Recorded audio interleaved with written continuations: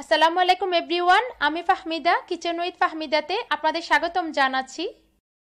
আজকে আমি আপনাদের সাথে সহজ একটি রেসিপি শেয়ার করছি বিফ বিরিয়ানি। আমার স্টাইলে সহজভাবে হাতের কাছে থাকা অল্প কিছু উপকরণ দিয়ে শেয়ার করার চেষ্টা করেছি। আশা করছি ইনশাল্লাহ আপনাদের অনেক ভালো লাগবে। এই জন্য প্রথমে আমি এক কেজি আটশো গ্রামের মতো গরু মাংস নিয়েছি। আমি একটু বড় সাইজ করে কেটে নিয়েছি। এখন আমি গরু মাংসগুলো ভালো মতো কাঁটা চামচের সাহায্যে ছিদ্র করে নিচ্ছি। আমি প্রথমে সবগুলো করে নিয়েছি। এখন আপনাদের সুবিধার্থে দু একটি করে দেখাচ্ছি কীভাবে করতে হবে।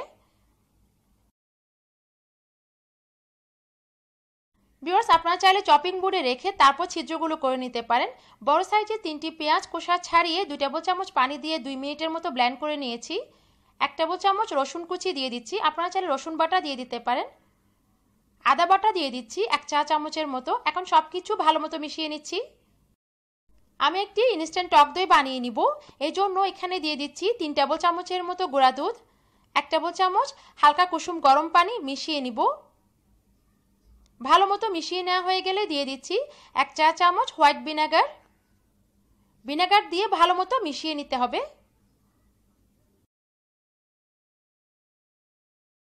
ইনস্ট্যান্ট টক দই বানিয়ে নিয়েছি, সেটা আমি মাংসের সাথে দিয়ে দিব। হালকা একটু মিশিয়ে নিব, ভালো মতো। এরপরে লবণ দিয়ে একেবারে ভালো মতো মিশিয়ে নিচ্ছি। প্রথমে এক চা চামচ দিয়ে দিচ্ছি লবণ। এরপরে ভালো মতো মিশিয়ে চার ঘণ্টার জন্য রেখে দিচ্ছি ঢাকনা দিয়ে। বিয়ার্স আপনারা চাইলে ফ্রিজে নর্মাল চেম্বারে রেখে দিতে পারেন চার ঘণ্টার জন্য ঢাকনা দিয়ে। এরপরে রান্না করার আধা ঘণ্টা আগে ফ্রিজ থেকে বের করে রুম টেম্পারেচারে নিয়ে আসতে হবে। এখন আমি চোলা রাসটা মিডিয়ামে করে একটি পাত্রে তেল দিয়ে দিচ্ছি, প্রায় এক কাপের মতো। এরপরে মেরিনেট করা মাংসগুলো দিয়ে দিচ্ছি।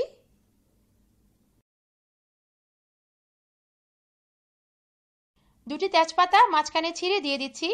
দুটি বড় সাইজের দারুচিনি মাঝখানে একটু ভেঙে তারপর দিয়েছি। জায়ফল টুকরা দিয়ে দিচ্ছি দুইটি, যাতে তাড়াতাড়ি মাংসগুলো সিদ্ধ হয়ে যায়। এলাচ দিয়ে দিচ্ছি চারটি। লবঙ্গ দিয়ে দিচ্ছি পাঁচ, ছয়টি। গরম মশলা গুঁড়া দিয়ে দিচ্ছি তিন চা চামচ।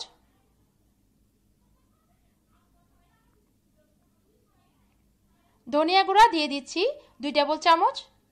বিরস আপনারা চাইলে দুই চা চামচ করে চার চা চামচ দিয়ে দিতে পারেন।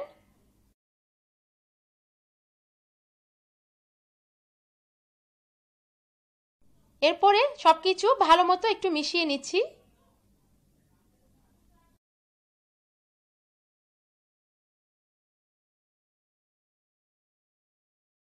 এখন দিয়ে দিচ্ছি লাল মরিচের গুঁড়া, দুই চা চামচ। বিবাস লাল মরিচের পরিমাণ আপনাদের স্বাদ মতো দিয়ে দিবেন। হালকা একটু মিশিয়ে নিব। লবণ দিয়ে দিচ্ছি এক চা চামচ। প্রথমে এক চা চামচ দিয়েছিলাম। বিয়ার্স লবণের পরিমাণ আপনাদের স্বাদ মতো দিয়ে দিবেন। বিয়ার্স আমি প্রথমে কোনো পানি দিচ্ছি না। চুলা রাসটা মিডিয়ামে করে ঢাকনা দিয়ে রেখে দিয়েছি প্রায় দশ মিনিটের মতো। ঢাকনা উঠিয়ে হালকা একটু মিশিয়ে পানি দিয়ে দিচ্ছি প্রায় এক কাপের মতো। যদি মিলি হিসাব করেন তাহলে হবে দুশো মিলি। ঢাকনা দিয়ে দিচ্ছি চুলা রাসটা মিডিয়ামে করে দশ মিনিটের মতো। বিয়র্স এখানে একটা বিষয় খেয়াল রাখতে হবে। গরু মাংস বেশি শক্ত করা যাবে না, আবার বেশি নরমও করা যাবে না। সেক্ষেত্রে পানির পরিমাণটা একটু বুঝে দেওয়া লাগবে। প্রথমে আমি এক কাপ পানি দিয়েছি, এখন আমি আরও এক কাপ পানি দিয়ে দিচ্ছি। আপনাদের সুবিধার্থে আরেকটা বিষয় আপনাদের সহজভাবে বলছি। যে কাপে আপনি চালটা নেবেন, সেই কাপে পানিটা দিবেন, তাহলে পানির পরিমাণটা ঠিক থাকবে। চিনি দিয়ে দিচ্ছি দুই চা চামচ। চিনি দিয়ে হালকা একটু মিশিয়ে নিচ্ছি। চিনির পরিমাণ একটু কম মনে হচ্ছে, আমি আরও আধা চা চামচ দিয়ে দিচ্ছি। দিয়ে ভালো মতো মিশিয়ে চোলা রাসটা মিডিয়ামে করে ঢাকনা দিয়ে রেখে দিব প্রায় পনেরো মিনিটের মতো। মাংসর গায়ে গায়ে যখন ঝুলটা লেগে আসবে তখনই চোলা অফ করে দিতে হবে। দেখুন বিয়ার্স একেবারে ঝুলটা গায়ে গায়ে লেগে আসছে। মাংসগুলো মাসালা সিদ্ধ হয়ে গেছে। আমি একটু আপনাদের উপর থেকে দেখাচ্ছি, দেখতে কেমন হয়েছে। চুলা অফ করে দিচ্ছি। এখন আমি ভাতটা রেডি করব। যে কাপে আমি চালটা নিয়েছি, সে কাপে মেপে এখানে সাত কাপ পানি দিয়েছি। চালের পরিমাণটা আমি একটু পরে আপনাদের বুঝিয়ে দিচ্ছি। এক চিমটি পরিমাণ আস্ত জিরা দিয়েছি। একটি তেজপাতা মাঝখানে ছিঁড়ে দিয়েছি। তিনটি এলাচ দিয়ে দিচ্ছি। লবঙ্গ দিয়ে দিচ্ছি পাঁচ, ছয়টি।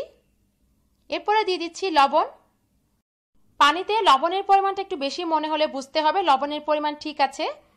হালকা একটু মিশিয়ে নিচ্ছি। এক টেবিল চামচ তেল দিয়ে দিচ্ছি।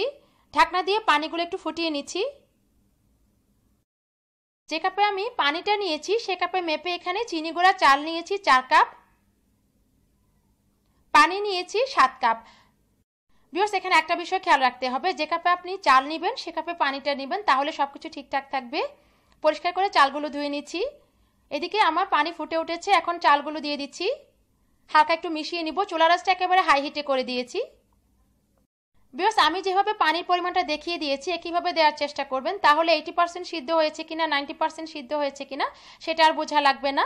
পানি যখন একেবারে গায়ে গায়ে লেগে আসবে, তখনই চুলাটা অফ করে একটি স্ট্রেনারে নিয়ে নিচ্ছি।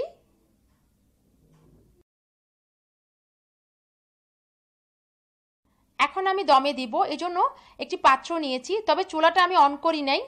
এখানে দুই টেবল চামচ ঘি আছে এক টেবল চামচ তেল আমি ভালো মতো মিশিয়ে নিয়েছি। প্রথমে দিয়ে দিচ্ছি দুই চা চামচের মতো। হালকা একটু মিশিয়ে নিব। এরপরে একটি লেয়ার দিয়ে দিচ্ছি ভাতের। ভালো মতো সব জায়গায় বিছিয়ে দেওয়া লাগবে। বিয়র্স আপনারা চাইলে তেল আর ঘির মিশ্রণটা না দিয়ে শুধু তেল দিয়ে করতে পারেন, সমস্যা নাই। ভাতের একটি লেয়ার দেওয়া হয়ে গেছে। এখন গরু মাংসগুলো দিয়ে দিচ্ছি উপরে। রান্না করা গরু মাংসগুলো সব জায়গায় ভালো মতো বিছিয়ে দিচ্ছি।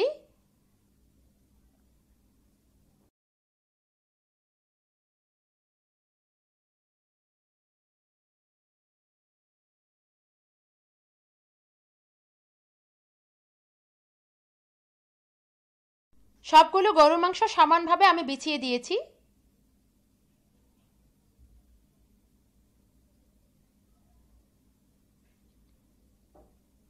এরপরে উপরে ভাতের লেয়ারটা দিয়ে দিচ্ছি। সর্বশেষ।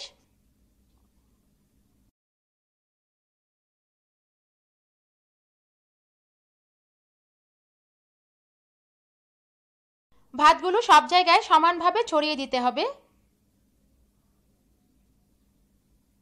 দুই টেবল চামচের মতো ঘি আর তেল মিশ্রণ রেখেছিলাম, সেটা দিয়ে দিচ্ছি। আমি এখানে বড় সাইজের চারটি আলু, খোসা ছাড়িয়ে আলাদা একটি পাত্রে সামান্য অল্প লবণ, দু চিমটি পরিমাণ হলুদ দিয়ে সিদ্ধ করে নিয়েছি, ভালো মতো একটু চেপে দিচ্ছি। কয়েকটি গোটা কাঁচামরিচ দিয়ে দিচ্ছি, কিশমিশ দিয়ে দিচ্ছি, প্রায় দুই টেবল চামচের মতো। একটি বড় সাইজের পেঁয়াজ কুচি করে এক কাপ তেল দিয়ে ভালো মতো পেঁয়াজগুলো ফ্রাই করে নিয়েছি। এখন সব জায়গায় ছড়িয়ে দিচ্ছি। এক টেবিল চামচ তরল দুধে দুই চিমটি পরিমাণ ইয়েলো ফুড কালার মিশিয়ে নিয়েছি। এখন দিয়ে দিচ্ছি। বিকজ আপনারা চাইলে ইয়েলো ফুড কালারের পরিবর্তে হলুদ দিতে পারেন এক চিমটি পরিমাণ, তবে দিতে না চাইলে স্কিপ করতে পারেন। আধা কাপ তরল দুধ দিয়ে দিচ্ছি, এর বেশি দেয়া যাবে না। বিকজ যে কাপে আপনি চালটা দিবেন, সেই কাপেই আধা কাপ তরল দুধ দিয়ে দিতে হবে। হাতের কাছে তরল দুধ না থাকলে আধা কাপ পানিতে তিন টেবিল চামচ গুঁড়া দুধ মিশিয়ে নিতে পারেন। এখন আমি ঢাকনা দিয়েছি। এরপরে ছিদ্র থাকলে সেটা আটকে দেওয়া লাগবে। আমি আর কিছুই করব না। জাস্ট চুলা রাসটা একেবারে লোতে করে ঢাকনা দিয়ে রেখে দিব পঁচিশ থেকে তিরিশ মিনিটের মতো। যদি পাত্র পাতলা হয়ে থাকে, সেক্ষেত্রে নিচে তাওয়া দিয়ে উপরে পাত্রটা বসিয়ে দেওয়া লাগবে। আধা ঘণ্টা পরে আমি আপনাদের দেখাচ্ছি দেখতে কেমন হয়েছে। চুলা আমি অফ করে দিয়েছি। পনেরো মিনিটের মতো ঢাকনা দিয়ে রেখে দিচ্ছি। পনেরো মিনিট পরে আমি আপনাদের দেখাচ্ছি দেখতে কেমন হয়েছে। মার্শাল্লাহ দেখতে অসাধারণ হয়েছে। নিচের তলানিতে একটু পড়ে যায় নাই। শুধু দেখতে অসাধারণ না, খেতেও অসাধারণ হয়েছে। অবশ্যই ট্রাই করবেন। বিওয়াজ সামনের কোরবানির ঈদে অবশ্যই ট্রাই করবেন। আশা করছি ইনশাল্লাহ আপনাদের অনেক ভালো লাগবে। কোনো রকম আঠা দেওয়া ঝামেলা ছাড়াই সহজভাবে বানিয়ে নেওয়া যায় বিফ বিরিয়ানি। অবশ্যই ট্রাই করবেন। যদি ট্রাই করে থাকেন, আমার রেসিপি ভালো লাগে প্লিজ আমার চ্যানেলটি সাবস্ক্রাইব করবেন। আর যারা আমার চ্যানেলটি সাবস্ক্রাইব করেছেন, তাদের অসংখ্য ধন্যবাদ। যদি আমার রেসিপিগুলো ভালো লাগে প্লিজ ফ্রেন্ড অ্যান্ড ফ্যামিলির সাথে শেয়ার করবেন। আজ এই পর্যন্ত, আল্লাহ হাফিজ।